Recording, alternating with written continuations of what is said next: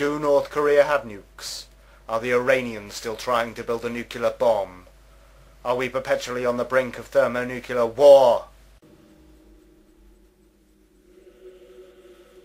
The governments and the elites that control them have such a history of lying to the public can we not assume we are not being told the truth?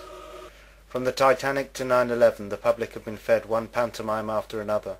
Can we not be forgiven for questioning nuclear weapons, perhaps their tallest of tales?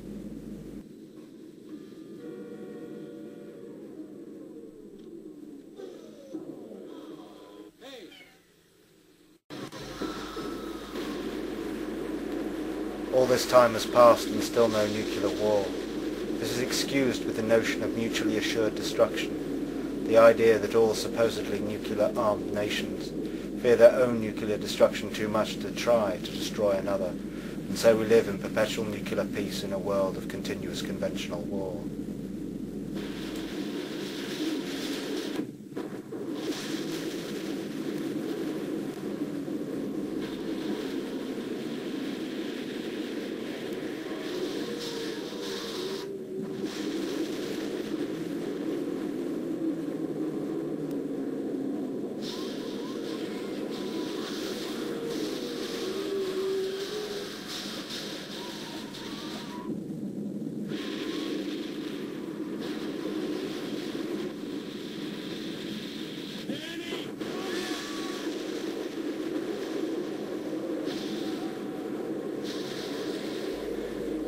What if all war was a fraud, the banking elite controlling all sides, all playing for a draw, not trying to defeat their enemy, but controlling their populations with fear? Why not forget the weapons and simulate it all on computers? It's a bluff, John Coylow. No, it's not a bluff. It's real. Hello, General Beringer. Stephen Falken. Mr. Falken, you picked a hell of a day for a visit. Uh, uh, General, what you see on these screens up here is a fantasy, a computer-enhanced hallucination. Those blips are not real missiles, they're phantoms. Jack, there's nothing to indicate a simulation at all. Everything's working perfectly. But does it make any sense? Does what make any sense?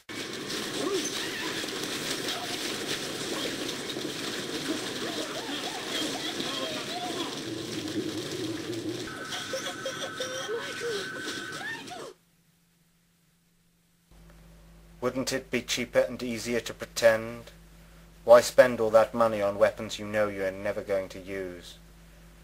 When convincing your enemy or your public you've got them achieves the same ends.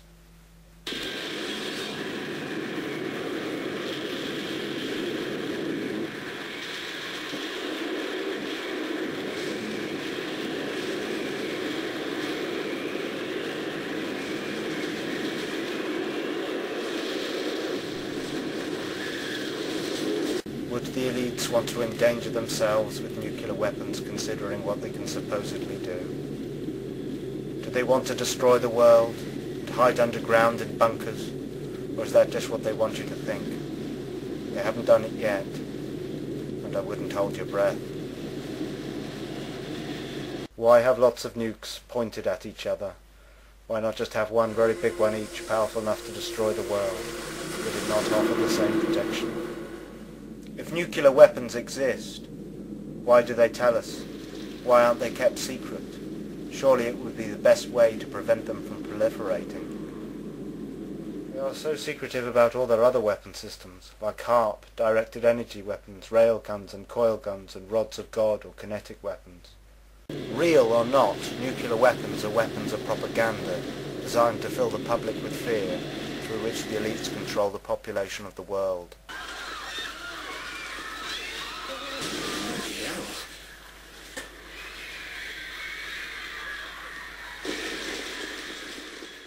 Is this a game or is it real? What's the difference? Oh, wow. German scientists had split the atom by bombarding uranium with neutrons, which caused instability in the uranium nucleus. During the split, mass was lost and was converted into kinetic energy. They had discovered fission, and with it, opened a Pandora's box. If each of those neutrons goes into another uranium nucleus, and causes fission. Then the first fission has led to more than two fissions in the next generation, and you can see that each successive generation has many more neutrons, and this causes an explosive chain reaction. If two masses of highly fissionable uranium in the form of a sphere and a plug could be brought together with sufficient speed inside a bomb, an exponentially increasing chain reaction with explosive force would result. It was known that the nucleus of one form of uranium, isotope 235, would split when it absorbed a neutron. When this happened, energy was released and more neutrons were created that struck and split other nuclei. When it happens continuously, it's known as a chain reaction. No one knew at the start how much fissionable material was needed to support an explosive chain reaction. That volume would be known as the critical mass. Another element, only discovered in late 1941 by Berkeley nuclear chemist Glenn Seaborg, also had the properties to explode in a chain reaction. And we immediately saw no one's mind was on anything but how can this be used for war? It gradually became clear. It's quite possible to make an explosion of this. It was this concern that led refugee German physicist Leo Szilard to reveal that possibility to the U.S. government. Together with Albert Einstein and Edward Teller, he composed a letter to President Franklin Roosevelt. It told of a terrible possibility. Germany had the talent and the knowledge to research and develop an atomic weapon. Delivering the letter to Roosevelt on their behalf was economist Alexander Sachs, a friend of Szilard and economic advisor to the president. Let's take a look at this letter. It may become possible to set up a nuclear chain reaction in a large mass of uranium. This new phenomenon would also lead to the construction of bombs, and it is conceivable, though much less certain, that extremely powerful bombs of a new type may thus be constructed. However, such bombs might very well prove to be too heavy for transportation by air. Major General Leslie R. Groves, the man responsible for the Pentagon, was placed in charge of the project. The project was massive, to design and build a device that existed only in theory from material that didn't exist in any quantity under unprecedented secrecy. Fermi tackled the first obstacle to the bomb, the question of whether or not a sustained chain reaction could be induced in a uranium reactor. Without the successively doubling power of the chain reaction, a bomb would be an impossibility. Fermi was one of the few scientists who was talented both in theory and in practice. He loved getting his hands dirty. Leo Szilard was the antithesis of Enrico Fermi. Szilard usually slept late. He soaked in the bathtub to get fresh ideas. While in the bathtub, Szilard remained focused on the competition, the German bomb effort. He convinced scientists in the U.S., whose community thrived on openness, to censor their own papers, so that they would not inadvertently help the Germans. This would also facilitate the hoax. The nuclear bomb hoax thrives on secrecy, and in fact one of its main purposes is to create an apparent need for extreme secrecy within the government and the industrial military complex. One of the main purposes for the creation of the myth of nuclear weapons is the rise of the secret services. Nuclear weapons provide a perfect excuse for governments to keep secrets and tell lies to their populations. As a result of the nuclear weapon myth, the population demand it. Without nuclear weapons there is little or no justification for keeping secrets and telling lies to the population, or for the organizations charged with that task. But sometimes we forget that security violations can be dangerous business too. If classified information about this test mission fell into enemy hands, the consequences could be disastrous to all of us, individually and collectively as a nation. Security is only common sense. Don't take chances. Avoid loose talk. Safeguard classified information. Report security violations at once. Prompt action may prevent a minor incident from developing into a serious one. Avoid writing about classified material in letters home. Be sure you're secure. Don't be careless. I hate a careless man. The U.S. bomb effort was taking its first tentative steps, news that the Kaiser Wilhelm Institute in Berlin had begun actively pursuing uranium research rippled through the American scientific community. It would take nothing short of a disaster to move the president to take decisive action, and a disaster was not far off. Pearl Harbor plunged the United States into war. The first first self-sustaining chain-reacting pile was successfully operated by Enrico Fermi. Brought intense efforts between government and the private sector, creating huge industries for uranium separation in the town of Oak Ridge, Tennessee, and for the production of plutonium in Hanford, Washington. They were trying to demonstrate that the fission process could be harnessed by launching a sustained chain reaction in uranium. They built the first primitive reactor in a squash court beneath the stands of the university's football stadium. The reactor consisted of a pile in which a fission reaction could be initiated and controlled. They did it by piling layers of graphite and then embedding balls of uranium so that when the neutrons started flying through, they would be slowed by the graphite, collide with the uranium, release more neutrons, and those neutrons would continue in the chain reaction pattern. This momentous achievement, only detectable by a Geiger counter, meant that the fission process could be sustained. Nuclear energy could be released in a controlled way, as in a reactor, or perhaps cataclysmically, as in a bomb. This in no way indicates that an explosive chain reaction is achievable. To head up the installation, Groves, an expert judge of men, chose a most unlikely candidate, J. Robert Oppenheimer. A gifted physics professor, Oppenheimer had a reputation for being temperamental, perhaps not suited to a highly stressful assignment. It was advised that Oppenheimer would be a disaster. Uh, people told him that Oppenheimer couldn't run a hot dog stand. Oppenheimer was a fascinating and complicated man. Fundamentally, he seems to have had some of the qualities of an actor. He was different things to different people. Oppenheimer drew luminaries like Enrico Fermi, Hans Bethe, and Edward Teller to the facility, as well as technicians fresh out of college. During the fall of 1942, the theoretical physicists at Los Alamos began the difficult process of trying to determine how much U-235 it would take to make a bomb. And the scientists tell him, well, it could be uh, X amount, but uh, that's uh, plus or minus uh, by a factor of 10.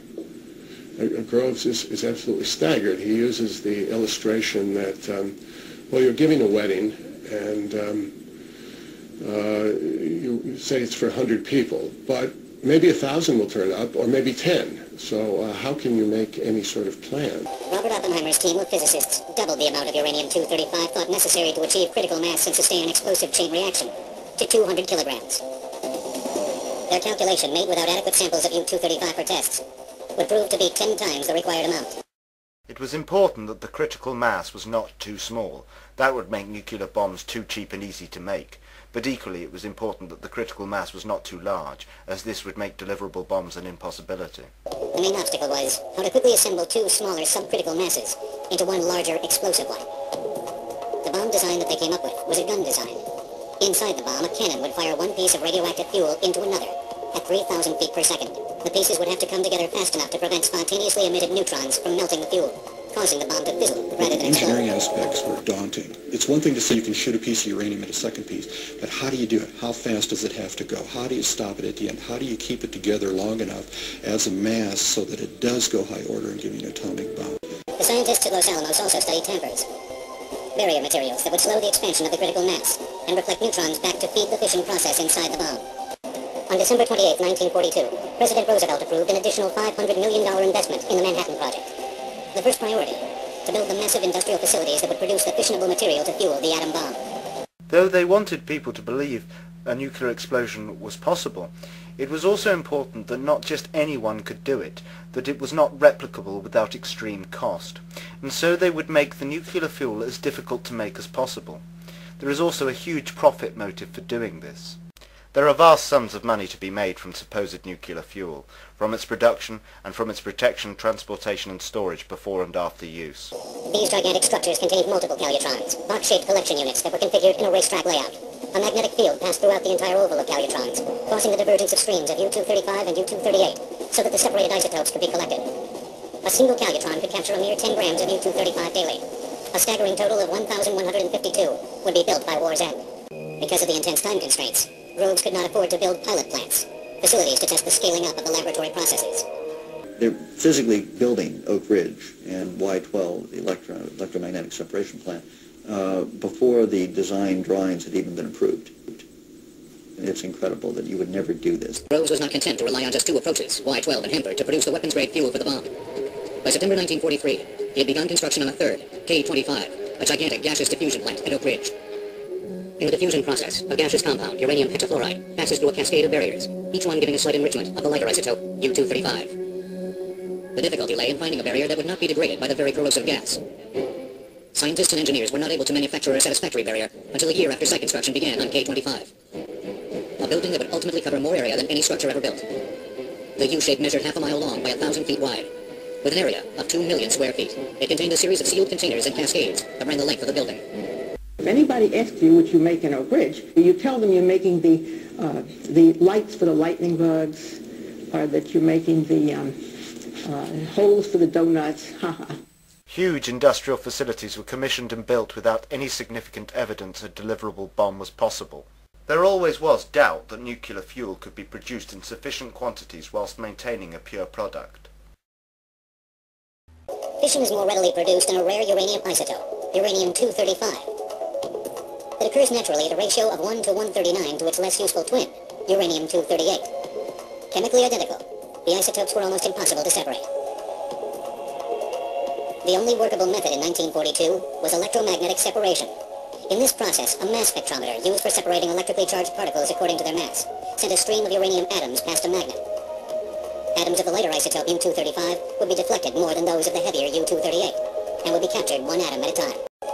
Scientists at Columbia University championed a competing mode of separation, gaseous diffusion. This method passed the isotope through a porous barrier that separated the lighter isotope from its heavier counterpart, but it proved to be technically challenging.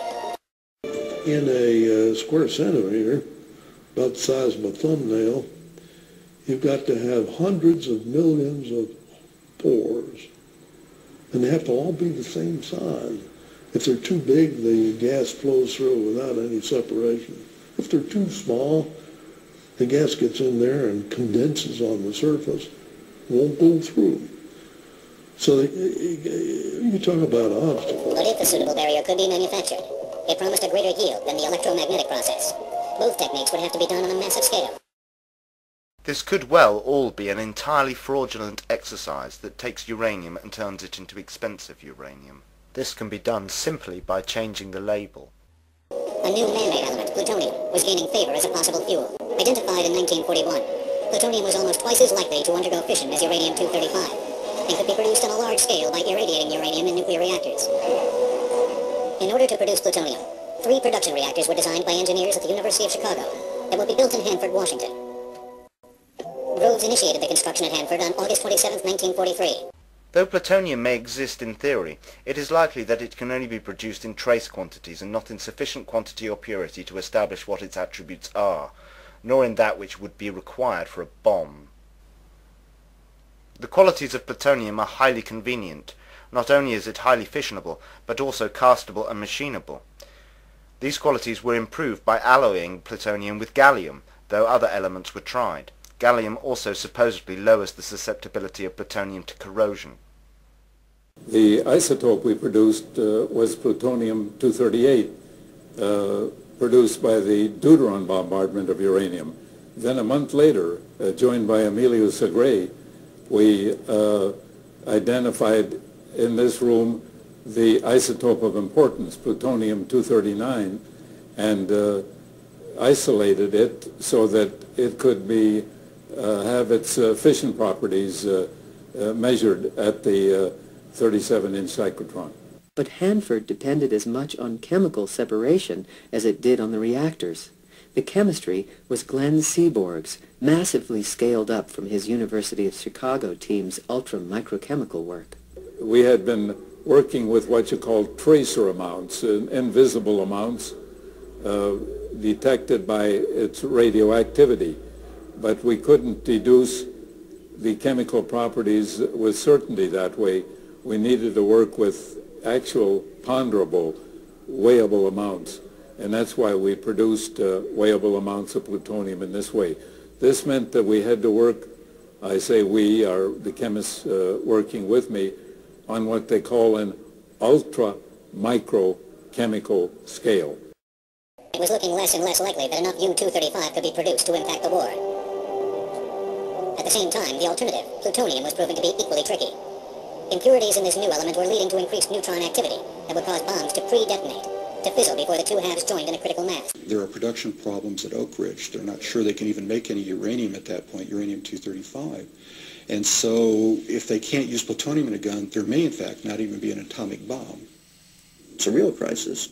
It's at that point that uh, I think Oppenheimer's talent comes to the fore where he brings in the people, new people in fact, and he reorganizes Los Alamos. Scientists and dignitaries awaited the detonation of the first atomic bomb in a desolate area of the New Mexico desert, known aptly as Jornada del Muerto, or Journey of Death. They had taken bets on how much power the creation might unleash, but many wondered whether the weapon would work at all. But as the test date drew closer, there was a nagging uncertainty about whether the bomb would actually work at all. In a meeting before the test, Hans Bethe described all that was known about the bomb and what wasn't. Critchfield and I overruled Fermi, and that is a very dangerous thing to do because Fermi was almost always right, but we overruled him. And so I felt uncertain for that reason. What was thought of during the war was, and very often we kept saying, maybe we'll come across some insuperable physical obstacle which prevents it from working. You can easily imagine those things. For example, a little delay in the emission of fast neutrons after fission. Norman Ramsey bet low. And I bet zero. And I, I think that was the most intelligent bet of any because zero included not only zero, but it also included the first 25 generations of neutrons. I mean, this is an exponentially growing thing, so it's probably the first 35 generations of neutrons. If it stopped anywhere along there, it would be zero in the scale that they had. So I had the biggest number of, statistically, the best chance of winning. Very hard to sleep, very hard to get your minds off all the things that might have gone wrong, very hard not to think about the implications. But, you know, we, we were consumed with the job, especially this crucial one, a test fire to see if this whole idea would work. And that was uh, in everyone's mind, I think. Everybody was extremely excited to, to see if it actually would turn out to be that way because no one really knew whether the thing would work or not. It was determined that explosive means would do the job by taking a subcritical mass and making it critical so the radioactive material would detonate. Two methods to do that had been devised. One was a gun method, where two halves of subcritical material were shot together to form the critical mass, starting the nuclear detonation.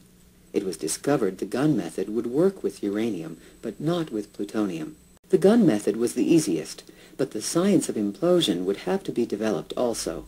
It required science and engineering that would enable simultaneous and uniform compression of plutonium.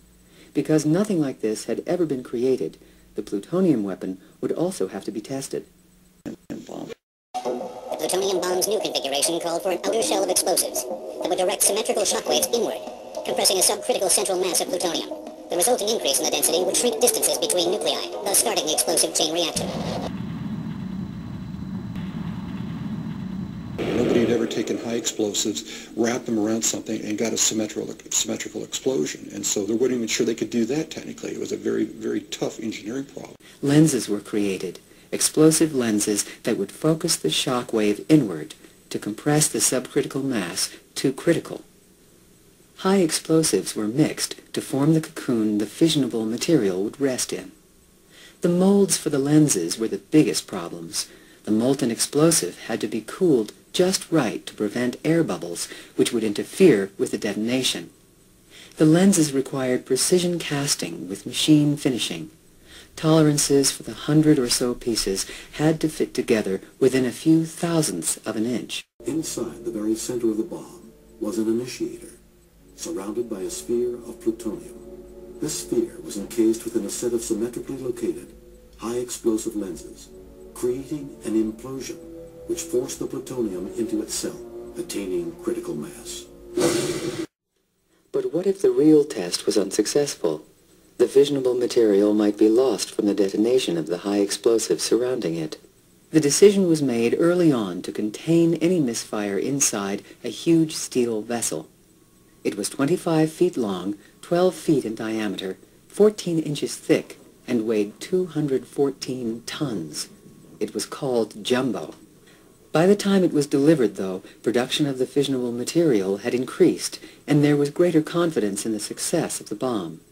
use of jumbo was cancelled. Instead, it was hung from a tower 800 yards from ground zero.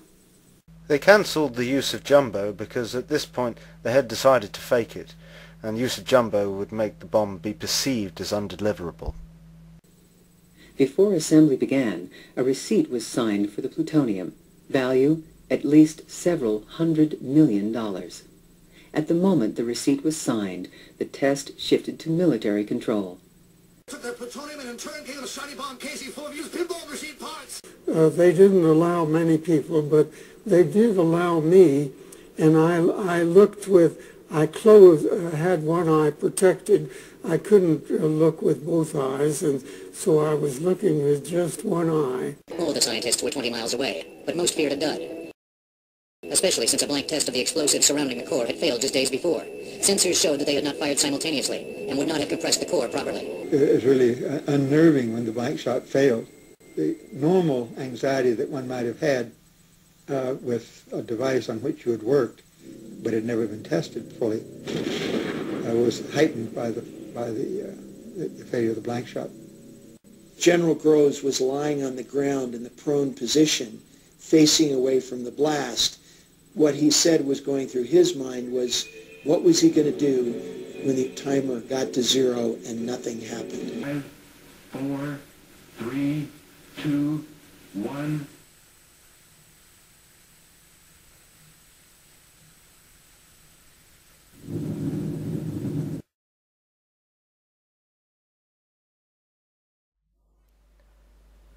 Despite the uncertainty and the doubts, the implosion device worked first time. With all the technical difficulty they admit to in making such a device, would you not expect a good few failures before you got it right? Of course it worked first time, because they faked it. As with all subsequent nuclear tests, it was fake.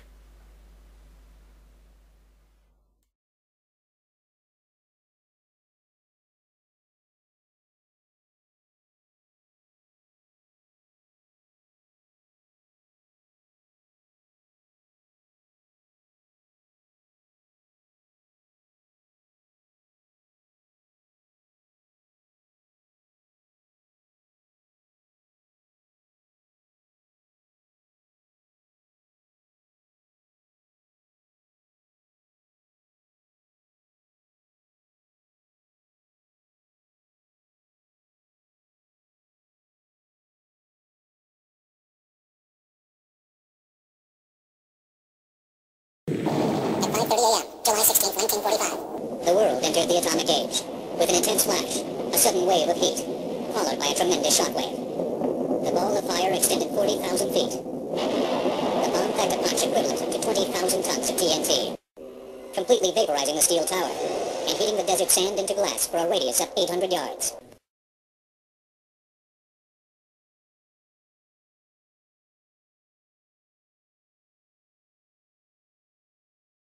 Later in the morning, Fermi and physicist Herbert Anderson donned white surgical scrubs and rode in two lead-lined tanks to ground zero. Fermi's tank broke down after only a mile, and he had to walk back. Is there any reason they didn't want Fermi to see the evidence firsthand? With a yield 200 times greater than the 100-ton test, the fireball created a crater nearly one half mile across and fused the desert sand into a green glass still containing traces of radioactivity 50 years later. Radiated dust and debris from the blast, fallout, would fall onto neighboring communities. At a few locations, detectors showed rises in radioactivity, but they dropped quickly. Few people laughed. Few people cried. Most people were silent. I remembered the line from the Hindu scripture, the Bhagavad Gita. Vishnu is trying to persuade the prince that he should do his duty and to impress him takes on his multi-armed form and says, Now I am become death, the destroyer of worlds. I suppose we all thought that one way or another. The explosions were mostly created using large towers of hundreds of tons of TNT. A short time before the Trinity test, they detonated such a tower of 108 tons of TNT. The Trinity test was probably a larger such tower, of 1,018 tons of TNT. May 1945. The hot New Mexico desert seemed far from the ravages of war in Europe.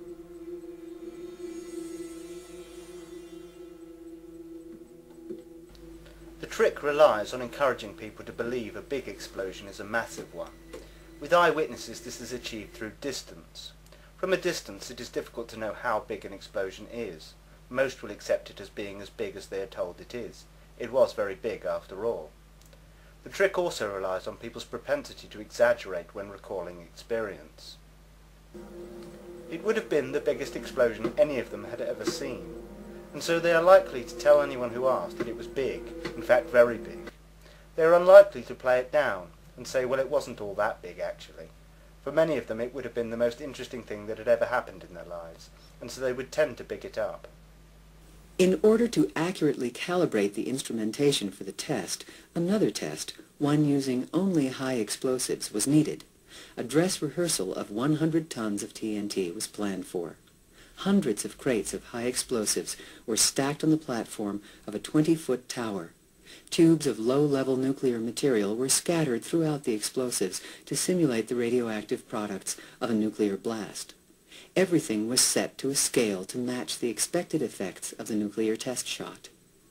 On May 7th, the high explosive was detonated. The orange fireball was seen 60 miles away.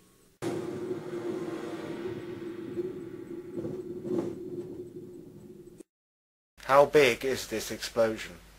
How big you perceive it to be depends very much on how far you think it is away and what you have to compare it to. The myth of the blinding light that supposedly makes nuclear bombs distinct from conventional ones is achieved using floodlighting and possibly mirrors and possibly through the burning of elements such as magnesium within the explosion itself. It is often illustrated to the public with shots of extreme shadowing which can easily be created in a studio.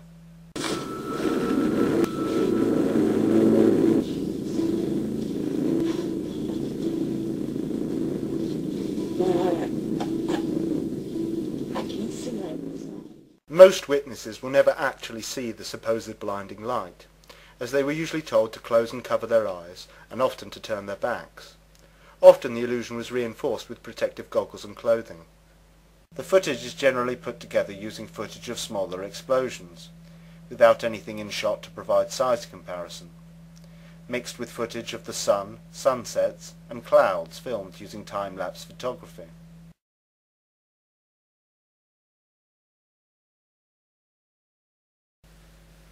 There is little or no unedited footage provided to the public.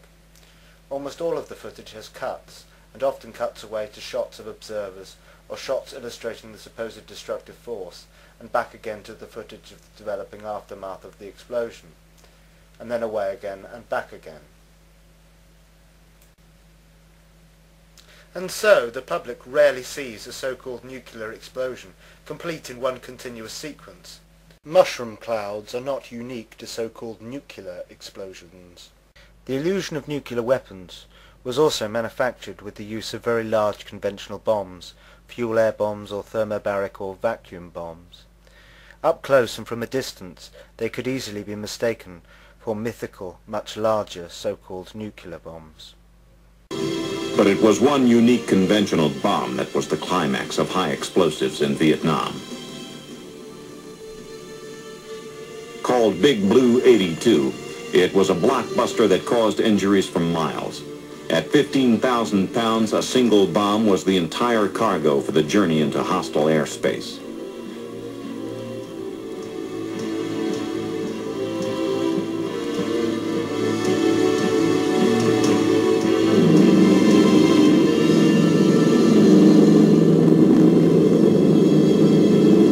Delivered from the hold of a C-130 cargo plane, the bomb was slowed by a parachute and drifted to its target.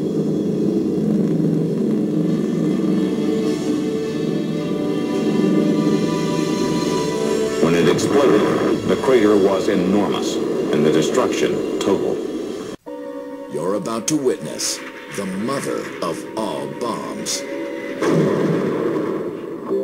The massive Ordnance Air Blast Bomb, or MOAB, 10 tons of H6 explosive. When they were testing it, um, people actually thought they were testing small-scale nuclear devices. Plus the psychological effect of the nuclear-style mushroom cloud is undeniable.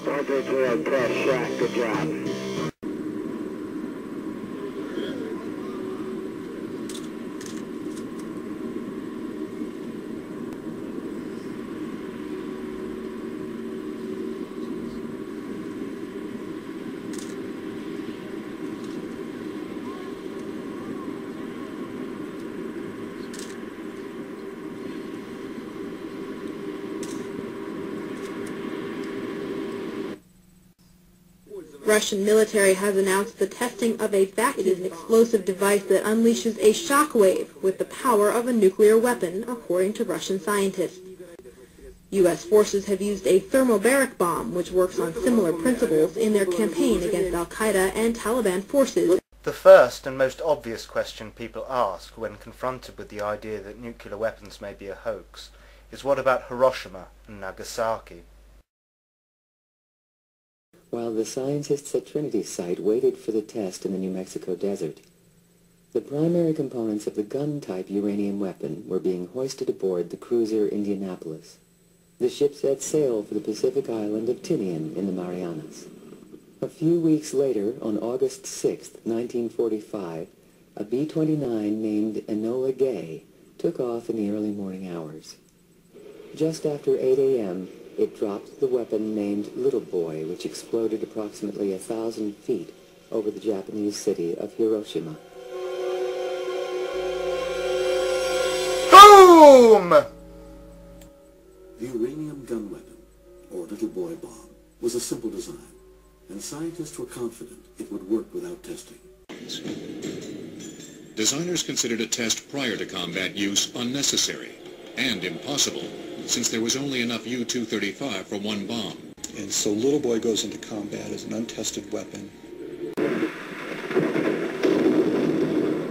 In the past 24 hours, four heavily loaded B-29s have crashed on takeoff.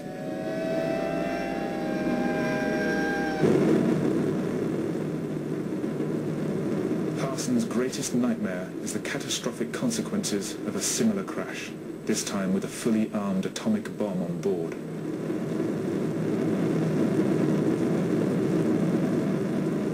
Disregarding months of planning, he makes a last-minute decision to attempt the arming of the bomb in the air and not on the ground, something which has never been tried outside the controlled, sterile environment of the laboratory. Armed with just a screwdriver and a spanner, he spends hour after hour practicing the techniques required to arm the bomb in flight. The temperature inside the bomb bay soars to over 40 degrees, but he continues, even as his hands start to bleed. There is no room for error. The next time he does this will be for real, 31,000 feet up in the sky, exactly two hours away from the target. This is padding the narrative in order to make the very dull story of dropping a bomb more exciting, and to sculpt it into a triumph against the odds.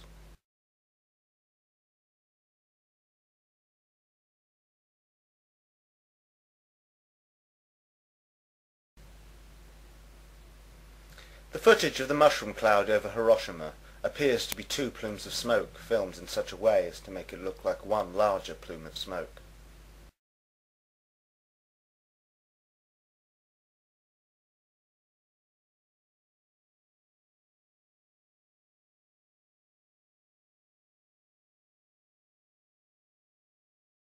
Eight eighteen.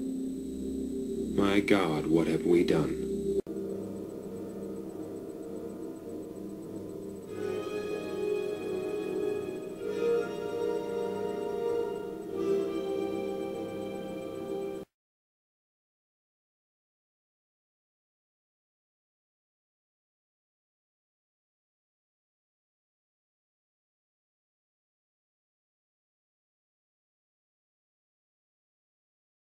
The damage to Hiroshima and Nagasaki is not consistent with one single blast. The damage is uniform. Wooden structures have been burned away. More substantial buildings remain with roofs and other flammable parts burned. It is remarkably similar to the damage caused by conventional firebombing.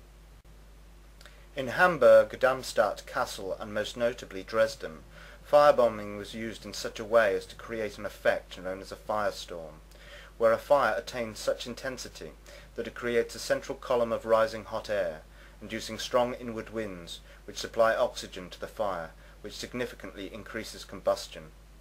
The better comparison to make is with Tokyo, where the construction of buildings was more comparable and conventional firebombing led to a similar death toll, casualty figures and damage.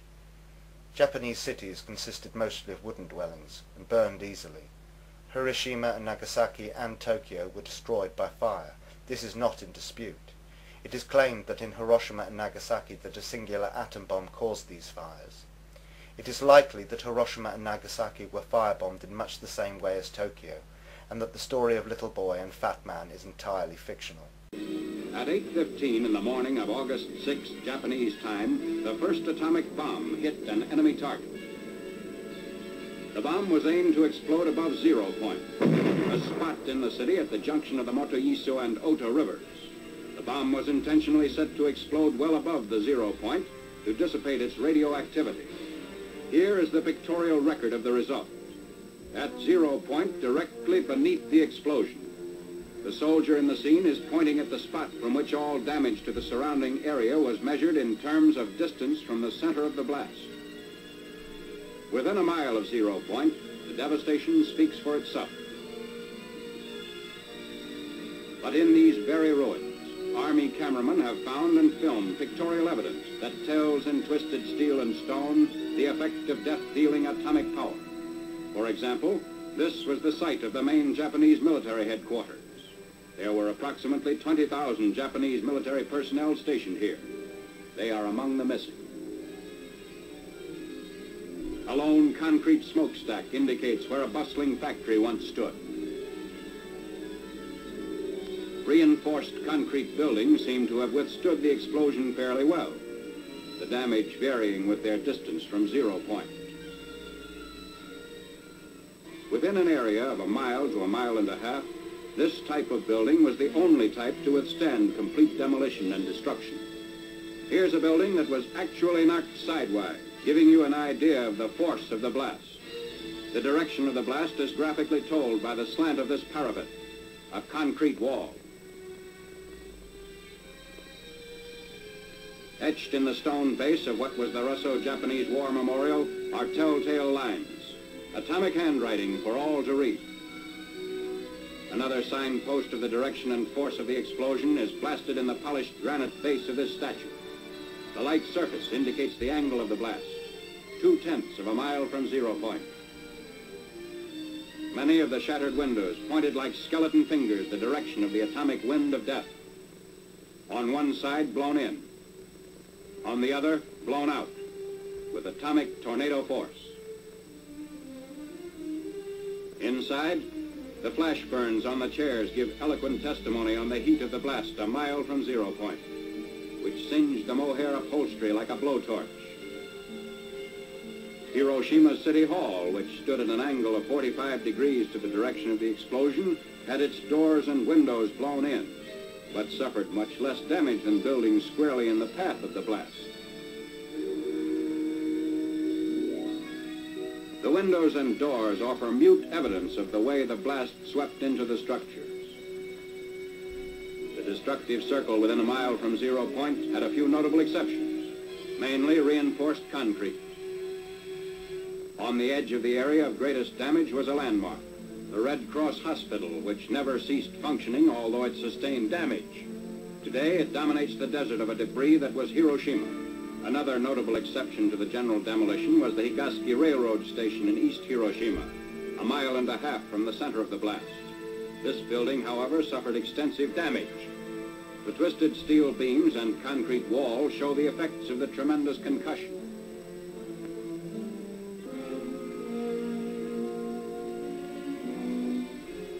What's left of the Commercial Museum, within two-tenths of a mile of zero point also gives indication of the tremendous push of the explosion. The downward force of the blast turned the roof of the commercial museum into a reservoir. Amazingly enough, bridges did not suffer too badly at Hiroshima. This steel rail bridge, one mile from zero point, had the side toward the explosion virtually blasted by flying particles, which removed almost all the paint. But the side away from the explosion did not need a new paint job. Roads in the area fared better than buildings or bridges. Shortly after the fires died down, traffic was resumed. Today, these highways through the ruins are again in use. Beside our military traffic trudge the survivors of vanished Hiroshima, the first city in history to be atom-bombed into oblivion. It would be easy to ensure the bomber crews responsible for the firebombing of Hiroshima and Nagasaki didn't survive the war. And it would be easy to convince people to lie, with bribes and with the idea that it is a noble lie that would bring an end to the war.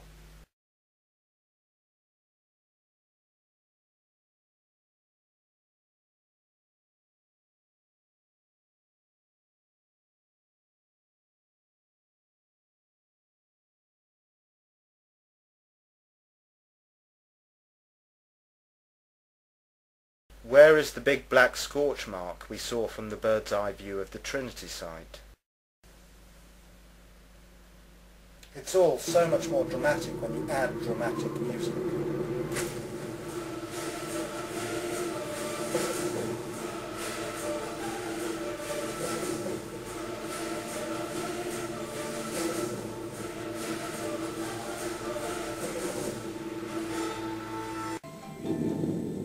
Trinity had been a success, questions remained about Fat Man.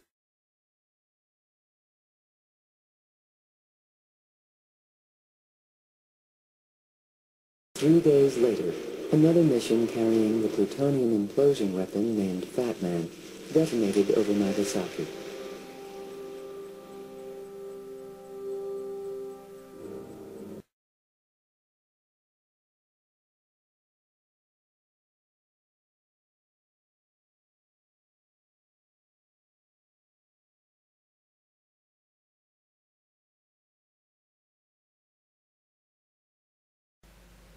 Cue the dramatic music.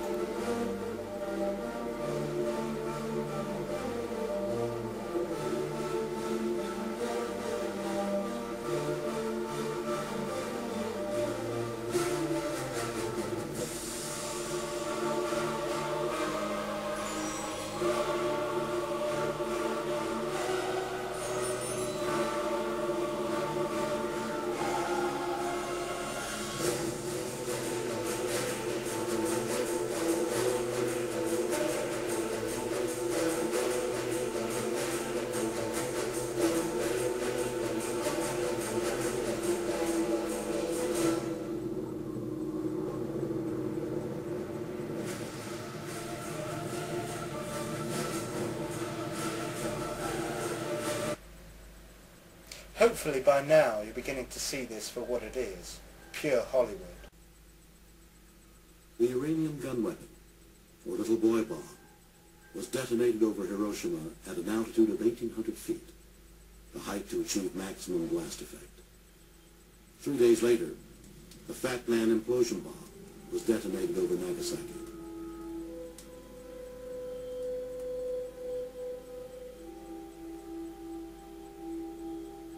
In Hiroshima, 70,000 people were killed or listed as missing. Of its 90,000 buildings, over 60,000 were demolished. The implosion bomb dropped on Nagasaki took the lives of 42,000 people and injured 40,000 more. It destroyed 39% of all the buildings in the city. With a yield of 20 kilotons, similar to that of Trinity, this weapon will be considered a nominal atomic bomb and provide a blueprint for all future nuclear weapons. These skulls in the foreground are very illustrative. Throw in a nice emotive baby playing in the rubble. Burn victims are in no way evidence of nuclear detonation. Standard heat will cause burns. Burn victims are indicative of firebombing. Radiation is also not proof of nuclear detonation. Radiation can easily be faked. It merely needs to be claimed.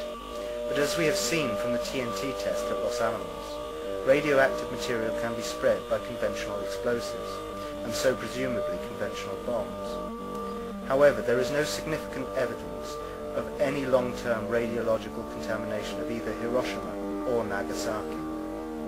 After Hiroshima and Nagasaki, the American military proceeded to stretch the truth even further than they had before.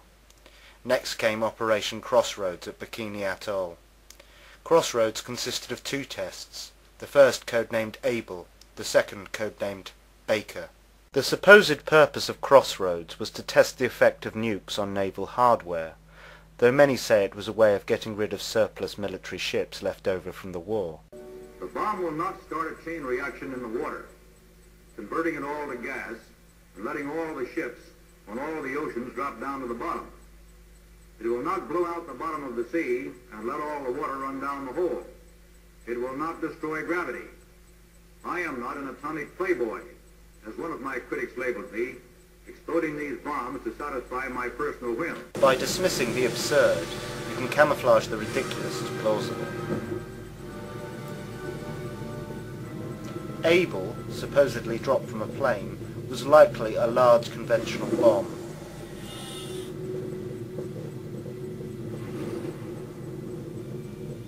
The bomb missed its intended target by nearly 800 yards.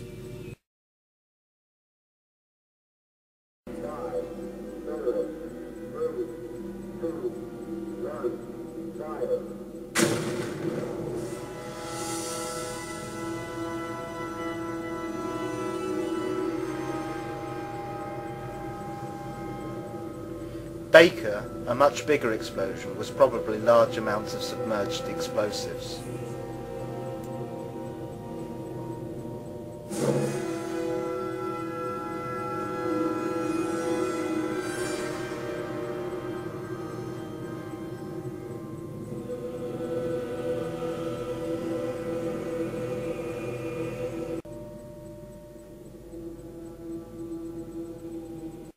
Soon enough the Soviets would begin to build their own fake nuclear bombs.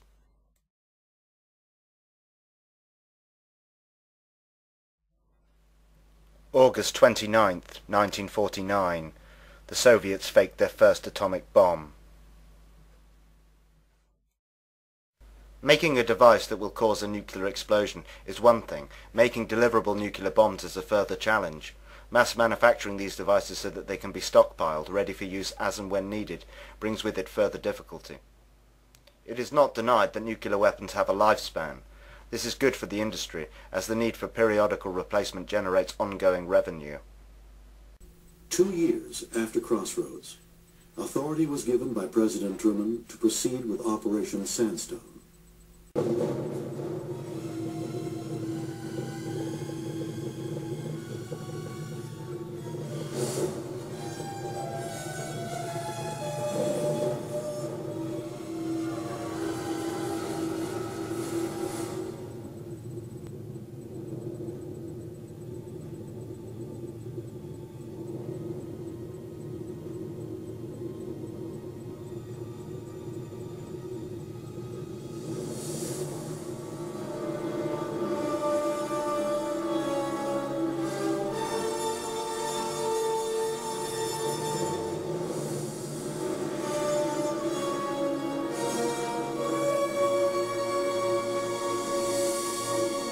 The three devices utilized on Sandstone employed new technology to double the explosive force of the bomb, using the same amount of plutonium spent over Nagasaki. This technology met Department of Defense requirements for more efficient bombs and increased the ability to stockpile nuclear weapons. Results of Sandstone affected the design of future nuclear weapons, rendering the Mark III production components of the Fat Man bomb obsolete. The Mark IV and Mark V designs brought improved performance and lighter weight to nuclear weapons. The purpose of Sandstone, and later Greenhouse, was to incrementally double and double again the power of these fictional bombs. At first by using the nuclear fuel more efficiently, and then by adding elements, primarily isotopes of hydrogen, deuterium and tritium. This would ultimately lead to the myth of the fusion bomb, many times bigger again. Also during this period, they would invent a way of utilizing U-238 within the bombs.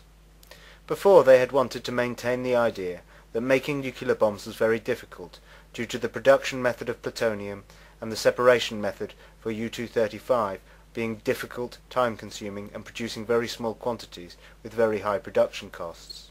The use of ordinary uranium-238 was required to make it conceivable for them to continue making bigger and bigger bombs requiring more and more fissionable material, and to make a large number of them.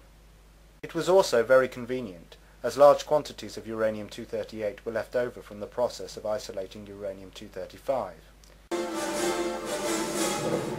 Though uranium-235 and or plutonium would continue to be an essential element of each fictional fission bomb.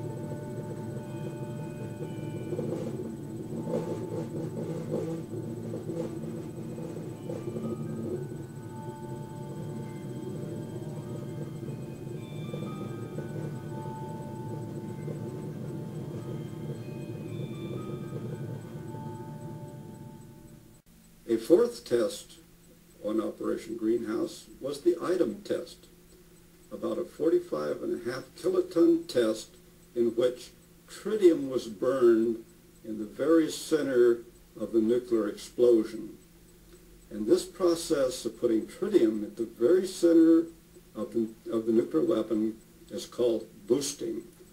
And we kicked the yield up from about 20 kilotons to 45 and a half kilotons, more than doubling it by that process.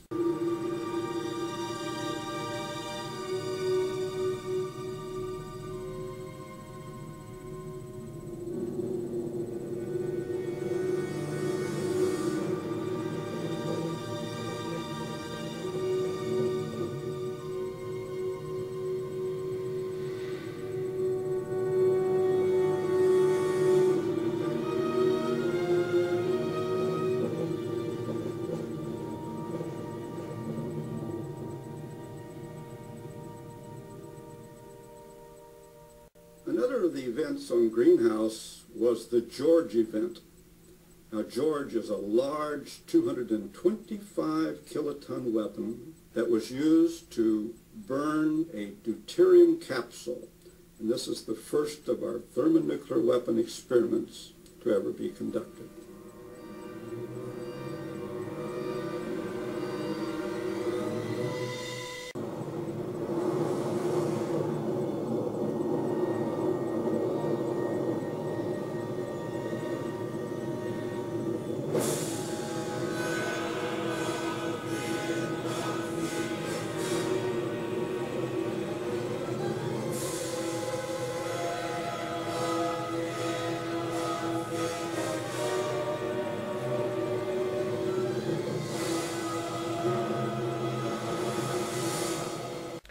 October 3rd, 1952.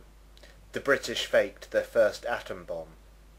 It was supposedly detonated inside the hull of a frigate, 8 feet 10 inches below the waterline. It was likely just a frigate filled with large quantities of explosives. Dr. Penney gives the order for the weapon to be fired at 8 o'clock next morning. One scientist remains to arm the firing circuit.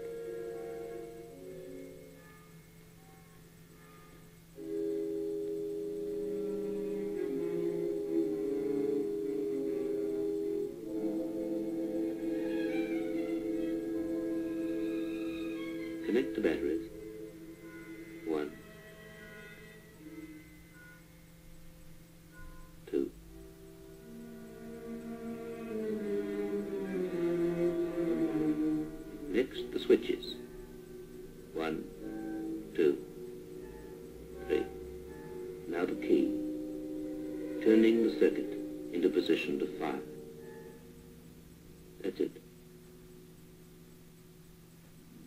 weapon is ready to explode at the touch of control headquarters on an island some miles away. But it can't be fired before this man gets there, since he carries a safety link, and without that link the firing circuit is still open.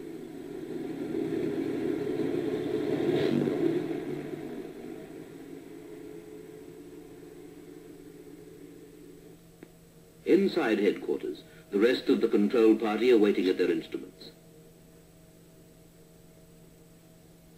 In the half-light of the control room, the safety link is delivered to the controller. The final process of firing can now be set in train. Time bracket open. Fox George, this is How 1. Pass your message, over. Hello, How 1, this is Understand. Phase Saturn completed. Out. Right. You can put the safety key in now. Safety link in. Circuit complete. Can we have the all-ready signals, please? Mr. Abercrombie, please. Thank you.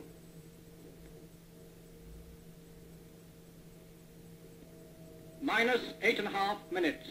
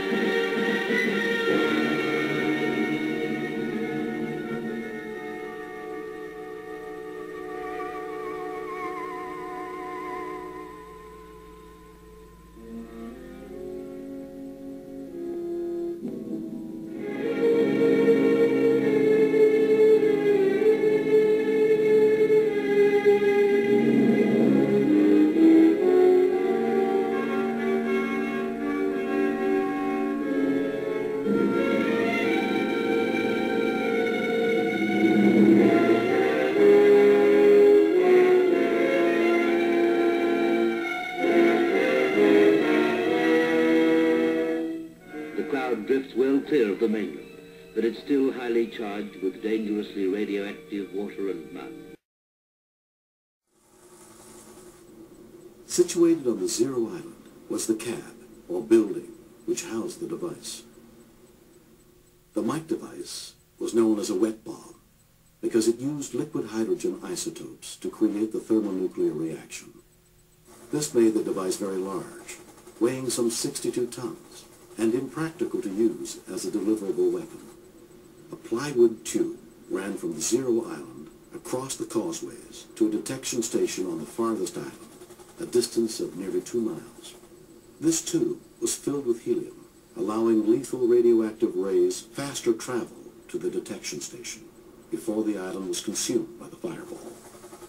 A two-story, 82-ton steel cylinder containing a concentric series of thermos bottles, which housed the super-chilled liquid deuterium, the hydrogen fuel, as well as raw uranium, tritium, Teller's plutonium spark plug, lead baffles, gold leaf reflectors, an ablative polyethylene lining, and, sitting at the very top of the assembly, a Nagasaki-style fission bomb to get it all going.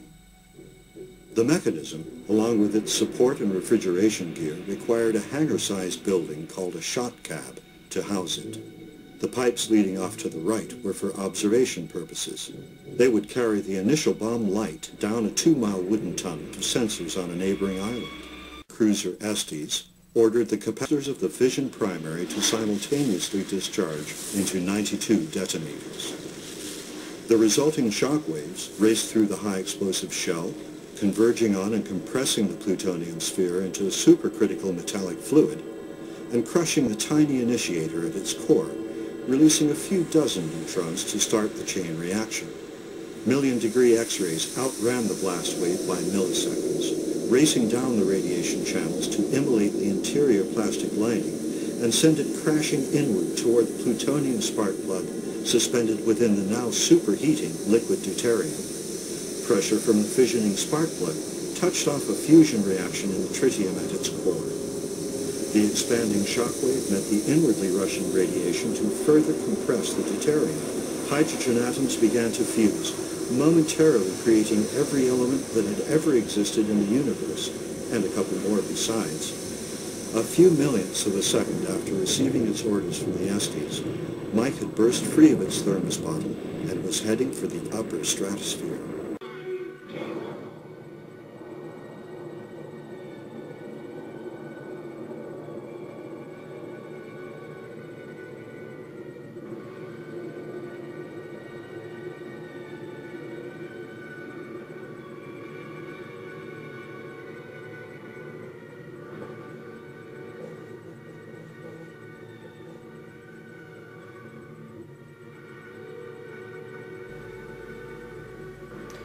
Fusion bombs were most commonly referred to as hydrogen or H-bombs. This may be because they have nothing to do with fusion of hydrogen into helium, but simply that in order to fake bigger and bigger bombs, the igniting of large quantities of concentrated hydrogen was required, rather than the towers of TNT utilized in the earlier fake fission bomb tests. In 1953, the Soviets faked their first so-called hydrogen bomb.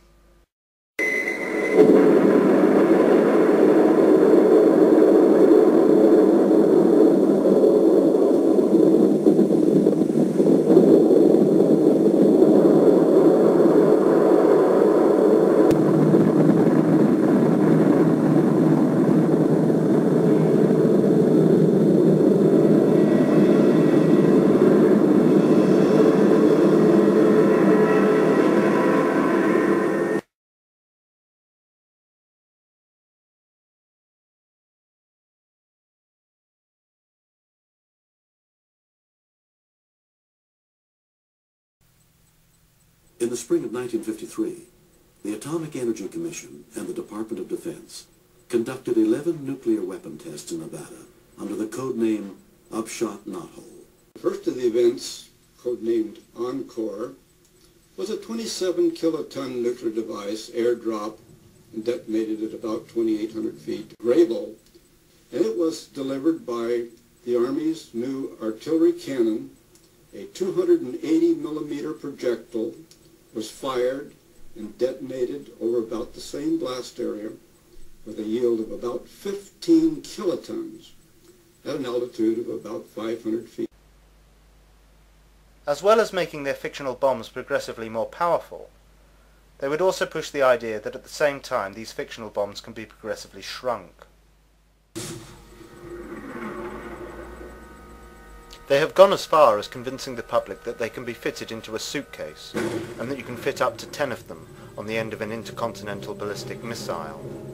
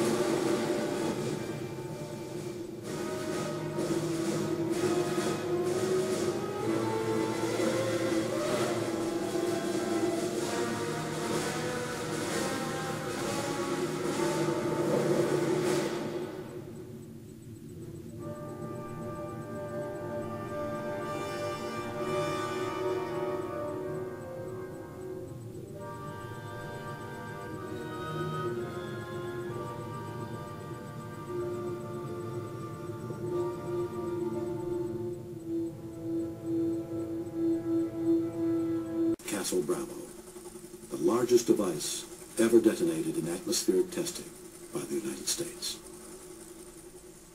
Bravo was a hydrogen bomb using solid thermonuclear fuel, confirming the designs of Edward Teller and Stan and paving the way to producing aircraft deliverable hydrogen bombs and more effective weapons.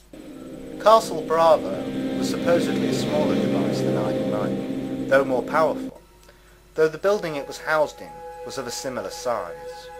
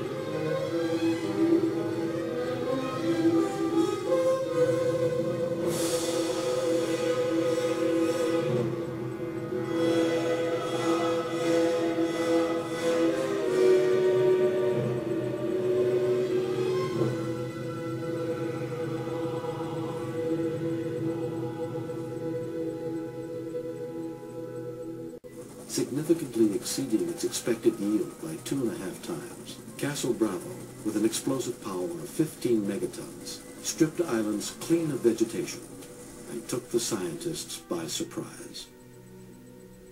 The huge explosion released large quantities of radioactive debris into the atmosphere. This incident pushed the dangers of fallout from nuclear weapons clearly into the public mind.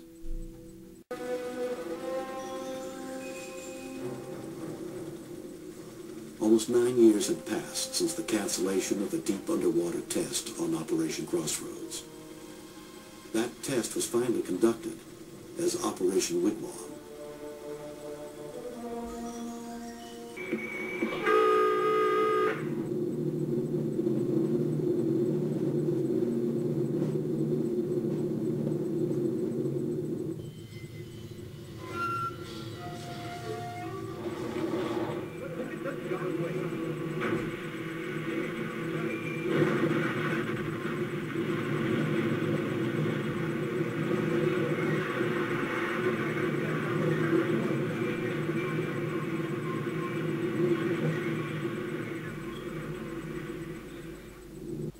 Despite their initial size, they convinced the public with ease that fictional hydrogen bombs could be reduced in size sufficiently so that they could be dropped from aircraft or delivered by missile.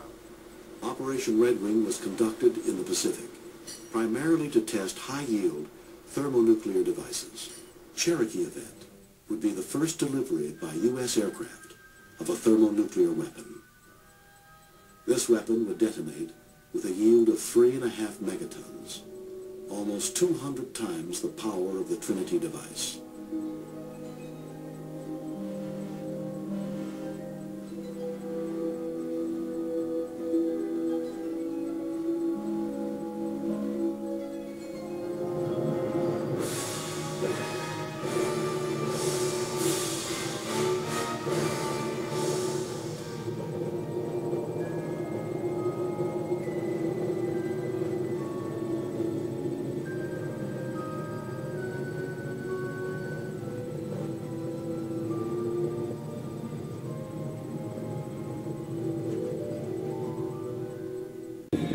Bernard A. Schriever is one of the first to suggest the H-bomb should be miniaturized to fit on an intercontinental ballistic missile, or ICBM. In the fall of 1957, with test moratoriums looming on the horizon, 24 nuclear tests were conducted in the Nevada desert under the code name Operation Plumbob. During Plumbob, the Hood event would become the largest test ever conducted in the atmosphere within the continental United States. Hood, a 74 kiloton device, was suspended 1,500 feet above the desert floor on a balloon.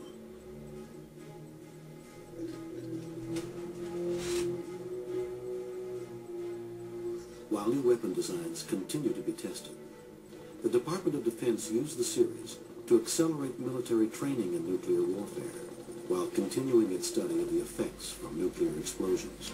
Much of the nuclear testing was designed in such a way as to expose as many military personnel to the hoax as possible, so that they would perpetuate the myth by word of mouth, and so that as many people as possible would have an uncle or some other relative who was involved, and so would likely consider nuclear weapons a reality.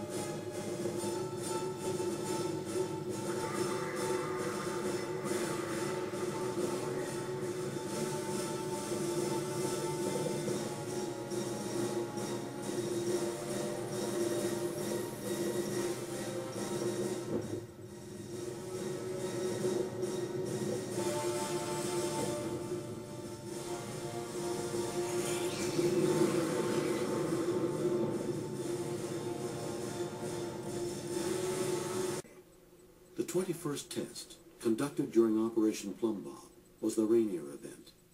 This was the first fully contained underground nuclear weapon detonation conducted by the United States. The three kiloton device was detonated 790 feet below Rainier Mesa, vaporizing rock into a molten bubble 100 feet wide. This technology would have great importance after the Limited Test Ban Treaty, which would prohibit all but underground testing of nuclear weapons and hide future experiments from prying eyes. Underground tests are very easily claimed. For many no footage is produced at all. Though it can be argued that underground you might better maintain a critical mass, it is likely that all underground tests are just as fake as those above ground.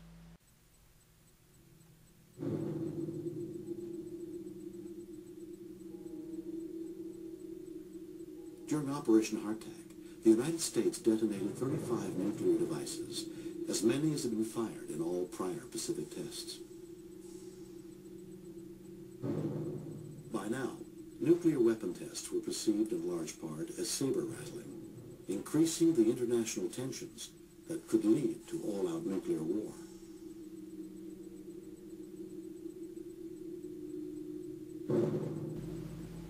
They've pretended to drop them from aircraft, shot one out of a cannon, hung them from balloons, exploded them underwater and underground. Why not blast a few into space on rockets?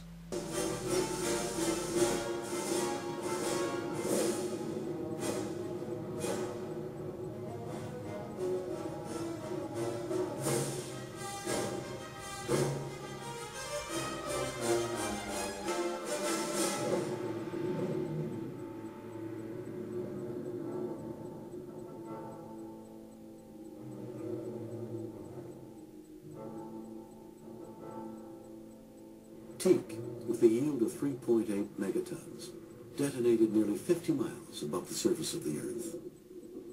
The detonation created a violent magnetic disturbance in the atmosphere known as EMP, or electromagnetic pulse.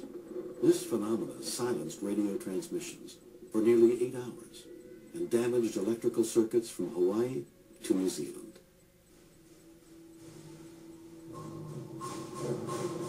Immediately following shots Teak and Orange in the Pacific, the United States conducted Operation Argus, three one-kiloton missile-borne tests in the South Atlantic. The objective of the Argus experiment was to take a close look at the phenomena associated with the trapping in the Earth's magnetic field of relativistic electrons produced by nuclear detonations at very high altitudes. It was necessary to learn the governing parameters of these phenomena so we can make reliable estimates of their military importance. There seemed to be a good possibility that they were very important, and for that reason, there was a pressure on this entire operation to secure quick results. A fleet consisting of nine ships headed out for the South Atlantic. It is here that the Earth's magnetic field dips to its lowest point in what is known as the South Atlantic Anomaly.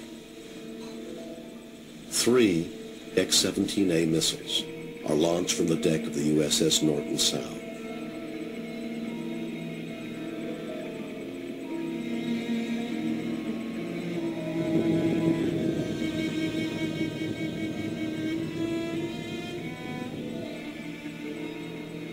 The missile's one kiloton warhead detonates at an altitude of 300 miles. As Christofilos had predicted, charged particles from the detonation travel along the lines of the Earth's magnetic field, temporarily creating a new belt of high-intensity radiation. For one of the most significant findings of Argus is that the detonation of a nuclear device in the ionosphere could create selective blackouts of radio communications. Cactus event. This is a little 18 kiloton device that produced a crater about 137 feet across and 37 feet deep. Many years later, 1980, all of the fission debris and radioactive material on Enewetak Atoll was gathered up and dumped into the cactus crater, and then a concrete dome was placed over the crater to keep and to stabilize the radioactive material that had been contained in it. They swept all the radioactive material under a dome-shaped concrete carpet. By November of 1958, the United States, Great Britain, and the Soviet Union begin test ban negotiations in Geneva. With the exception of three French tests in the Sahara, the world is spared the rumble of atomic blasts for the next 34 months. At Reggane, deep in the Sahara, France goes forward with the detonation of her first atomic bomb, defying a United Nations resolution, the heated protests of Japan and most of Africa's newly independent nations, and the disapproval of both America and the Soviet.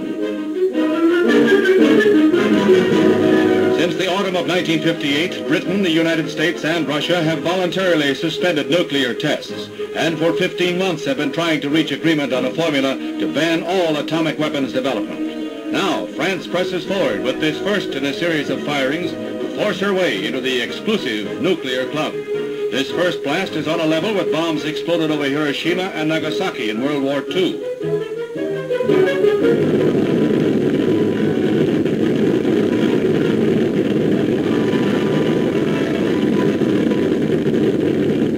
250th nuclear weapon explosion in history carries France a step further towards General de Gaulle's dream of national glory restored. Within two years, a dozen Atlas D missiles are deployed and operational. The first hardened squadron of Atlas launchers are turned over to the Strategic Air Command in August 1960. The missiles are deployed within blast-protected structures called coffin launchers. Even greater protection is afforded by the silo launcher. The new Titan ICBM is designed for silo launching. The Titan I is heavier, sturdier, and has greater lift capacity than the Atlas.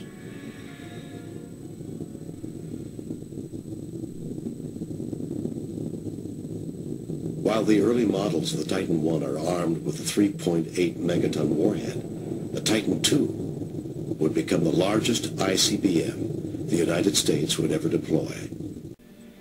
By the end of 1961, Atlas squadrons expand to a total of 57 operational missiles.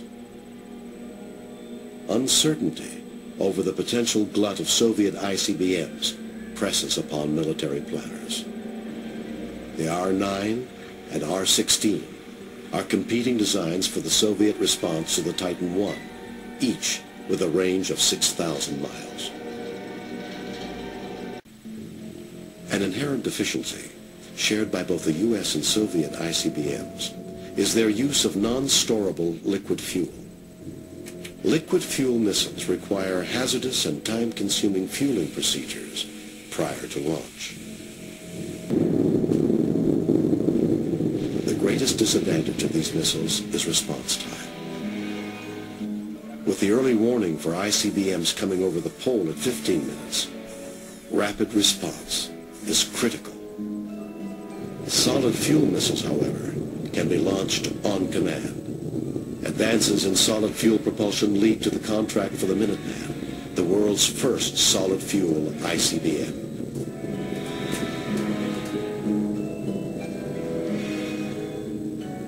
Holding a temporary advantage in numbers of strategic missiles, the United States has reason to remain vigilant when it comes to Soviet nuclear weapons expertise.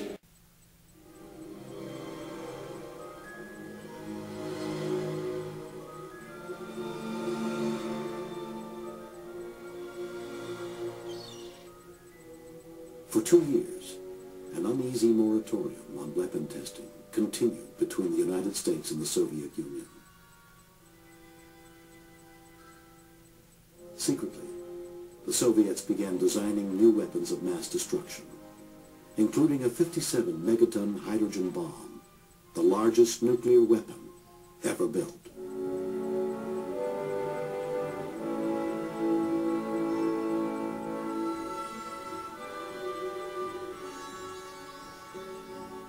This monster bomb was a scaled-down version of a 100 megaton design and was aircraft deliverable.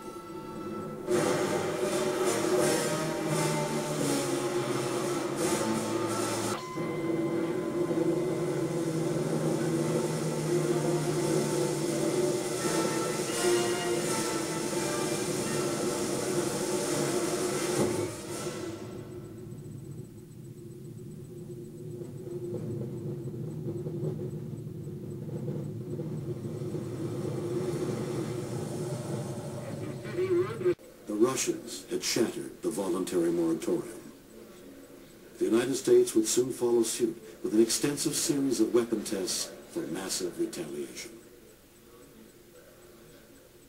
Concern arises that the U.S. is falling behind in nuclear weapons development.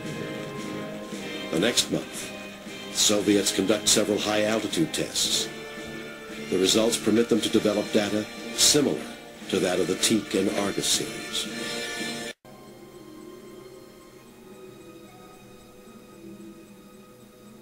Tensions mounted as nearly 100 nuclear tests were conducted between the Nevada test site and the Pacific Ocean under the code names Nougat, Storax, and Dominic.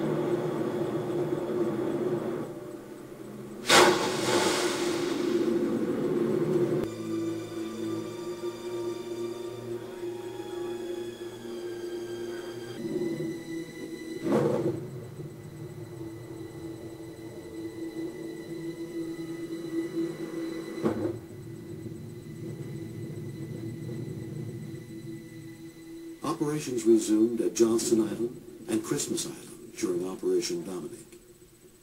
The United States negotiated the use of Christmas Island from the British, who had used the island to conduct their own thermonuclear tests. Multi-megaton nuclear weapons were loaded aboard B-52 strategic bomber aircraft, delivered from Hawaii, and airdropped off the south end of Christmas Island.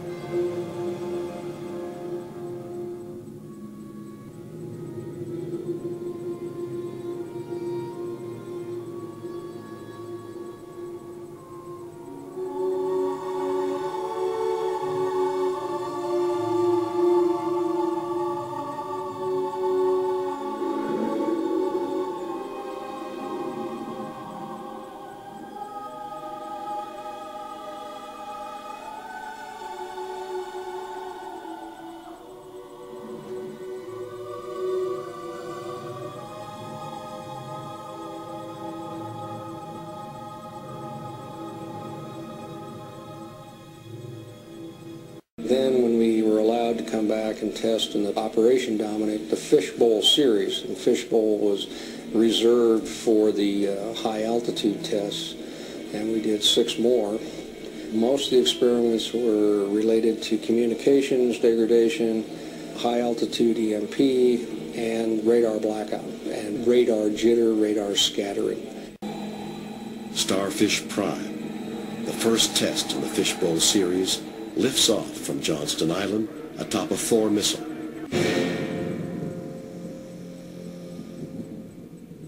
Reaching an altitude over five times higher than Teak in 1958, the Starfish Fireball enters the Van Allen belt, igniting a violent auroral display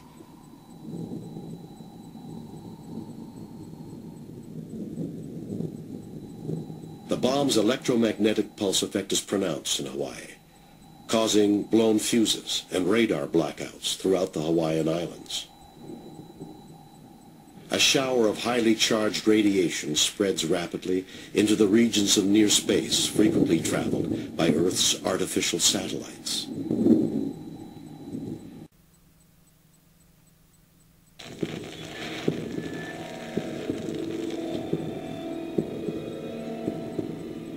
This government has maintained the closest surveillance of the Soviet military buildup on the island of Cuba. Within the past week, unmistakable evidence has established the fact that a series of offensive missile sites is now in preparation on that imprisoned island.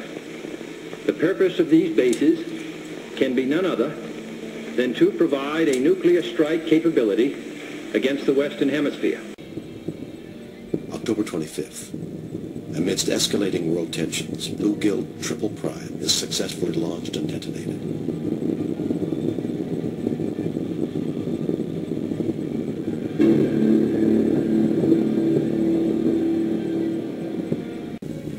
On the 28th, at the height of the crisis, the Soviets conduct a high-altitude nuclear test requiring the launching of three ballistic missiles.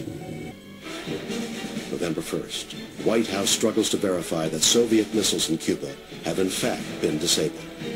Despite this destabilizing factor, both the U.S. and the Soviets conduct high-altitude nuclear tests on the same day.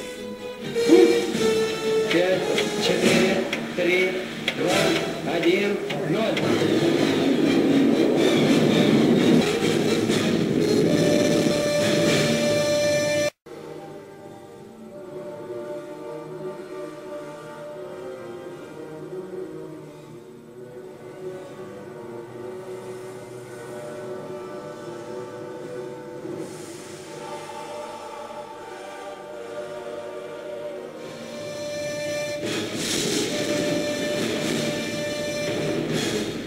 high-altitude nuclear tests appear just as fake as those faked at lower altitudes. Some appear to be achieved by dropping packets of powder onto a hard surface that explode on impact. Following Tightrope, the final atmospheric test by the United States, negotiations begin for the Test Ban Treaty of 1963. In 1963, we entered the Limited Test Ban Treaty that prohibits any atmospheric testing. Prohibitions of nuclear testing, moratoriums, talks and treaties, reinforce the supposed threat and allows the power structure to pose as rational peacemakers, and allows for the demonization of those who supposedly don't adhere, and also helps prevent lesser countries from faking their own nuclear weapons. Negotiations may also provide an opportunity for nations to cooperate on how the nuclear hoax is implemented in an incremental, escalating, apparently tit-for-tat manner. For the USSR and the United States there ceased to be any need for continuing to fake nuclear tests once the nuclear myth had been well established. However, they would both continue to fake nuclear tests and to expand their fictional nuclear arsenals in a contrived game of one-upmanship. Periodical bilateral talks would help to convince the world that each side was continuing to arm itself ever more and provide a plausible explanation for why it never led to nuclear war. The potential for a functioning Soviet ABM poses new challenges to ICBM warhead design. The outcome of this research is the cluster warhead.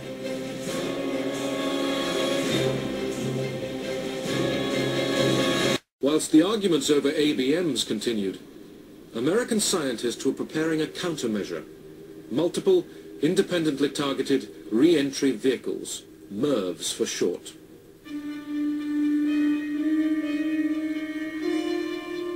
One single missile could now carry 10 separate warheads, each capable of destroying a city. Once you got into the MIRV era, the problem of strategic defense became infinitely more complicated, infinitely more expensive, because you had to devise ways of going after a multiplicity of warheads and uh, uh, all kinds of junk. Over the next 10 years, the Soviet ICBM force would grow to near 1,500 fictional nuclear-tipped missiles. By comparison, the US force rose to over 1,000 ICBMs, with over twice as many fictional warheads. On October 1st, 1975, the Minuteman ICBM force was briefly shielded from a Soviet first strike by a missile defense known as Safeguard.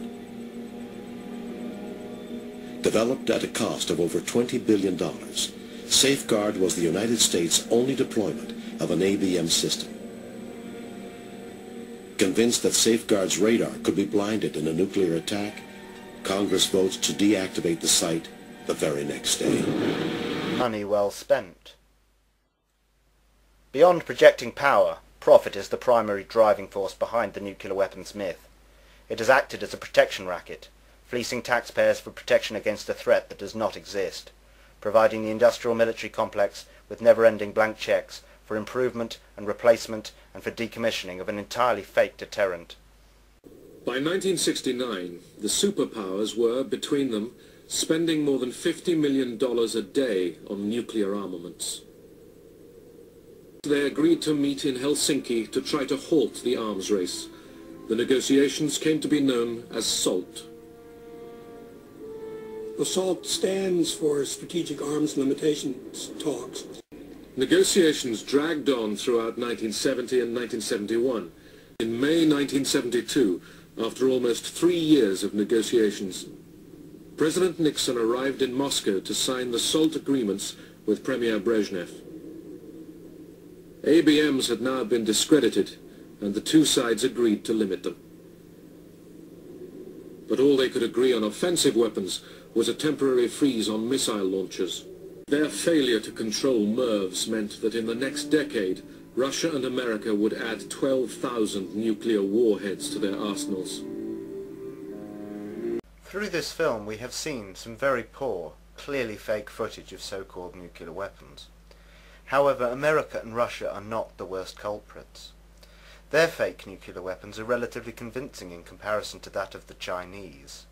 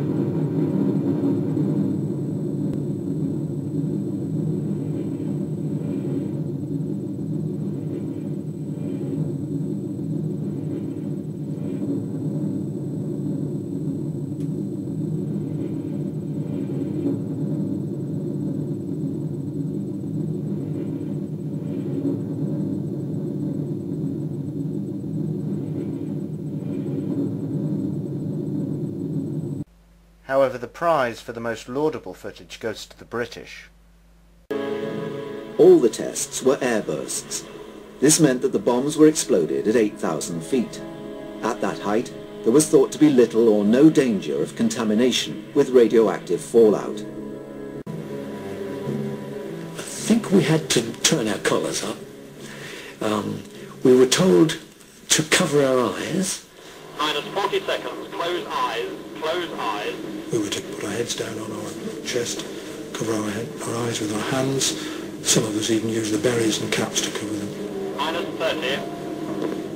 On the loudspeakers, we heard the, the run-up to the drop. The, uh, the controller then did a countdown. Seven, six, five, four, three, two. And then at, at zero, we felt this almighty heat. Like somebody passing a five-bar electric fire very close to your back and then moving it away.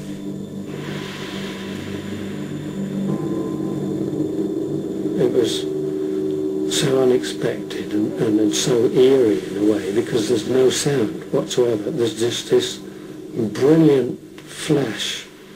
Although oh, you have your sunglasses on and your hands covering your eyes, you could see all the bones in your hands. It, it, that showing through. We didn't wait for the order to be given to turn round. We just turned round and we saw this fantastic orange-black flame mass just rising in the sky and it was enormous. It was pure inferno. We'd seen others, but this was the biggest we'd seen. It was almost beautiful. In fact, I think it would be described as being beautiful. And it rose very rapidly in the air. We were about 20 miles away, I think, and we got a really magnificent view of this thing. Unfortunately, the gurus forgot to admit or tell us um, about the blast.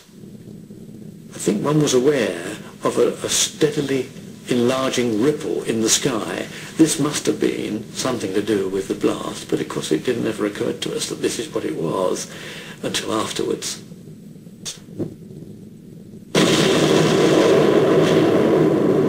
We were stood there gazing at this cloud and then all of a sudden there was the loudest bang you have ever heard.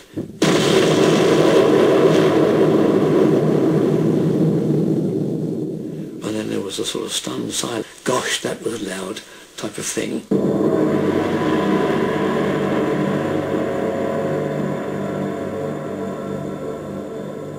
This time, everything had worked to plan. In the primary stage, lasting 70 millionths of a second, the atomic trigger had exploded. A huge flux of X-rays then poured out, causing the secondary reaction, the fusion of hydrogen, and the release of vast amounts of energy. Within a second, the bomb had erupted into the morning sky as a fireball more than a mile across. At last, this was the successful H-bomb test that the government had craved. On the 18th of May 1974, the Indians faked their first nuclear bomb. It was an underground test and could easily be achieved using large amounts of regular explosives.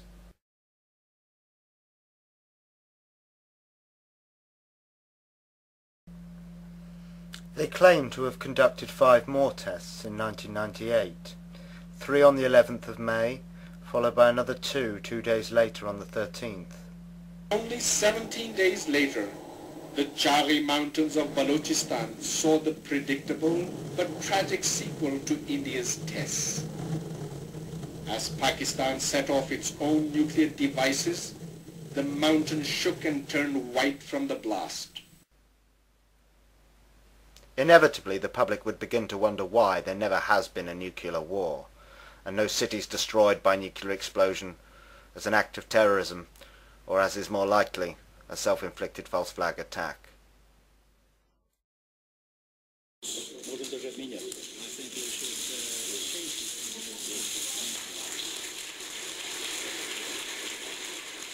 Ronald Reagan and Mikhail Gorbachev signed a far-reaching agreement. For the first time, an entire category of nuclear weapons was to be abolished.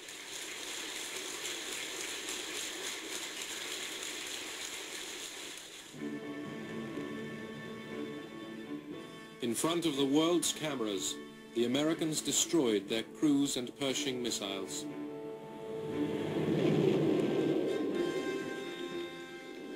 The Soviets dismantled their SS-20s.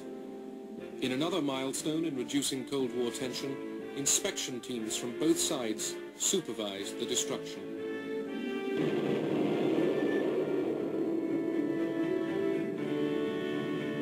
December 1991, the Soviet Union came to an end. And in that year, the so-called Cold War between Moscow and Washington that began at the end of World War II underwent a historic transformation with the START Treaty.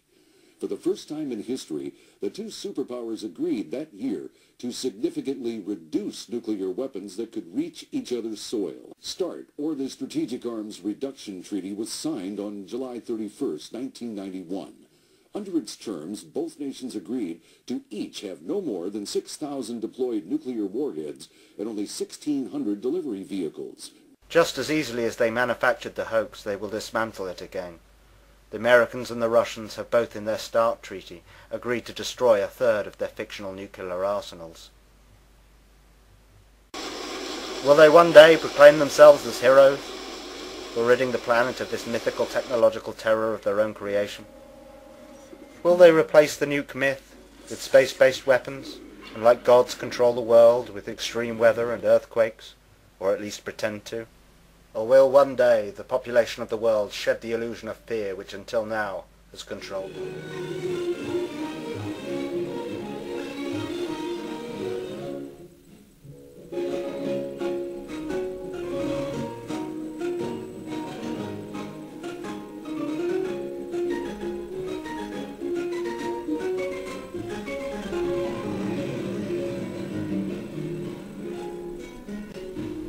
Virgin of Wellow production.